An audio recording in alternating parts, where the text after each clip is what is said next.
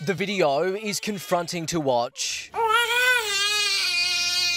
A two week old baby squirms as he's dangled upside down before a spring loaded instrument is used to prod the newborn's neck. And we're going to come into here. And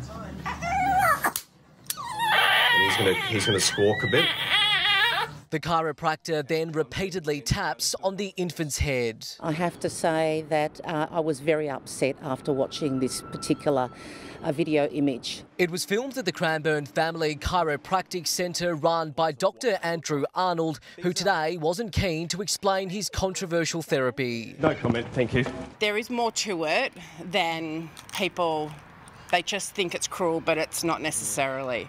While infant spine manipulation is legal, the Australian Medical Association has blasted the treatment, saying the science doesn't stack up. There's risks of paralysis in a, small number of cases, and also there's one or two cases of bleeding inside the brain from this from spinal manipulation in infants. The medical regulator AHPRA and the Chiropractors Board are now both looking into these practitioners' conduct and say they will take disciplinary action if any professional standards have been broken. The incident bears striking similarity to one in 2016 when another Melbourne chiropractor was banned from treating infants after he was filmed cracking a baby's back. All of his restrictions have since been lifted. They need to urgently issue a statement that makes it very clear that these types of of practices on small infants should just not occur at all in Australia. Sam Cucchiara, 9 News.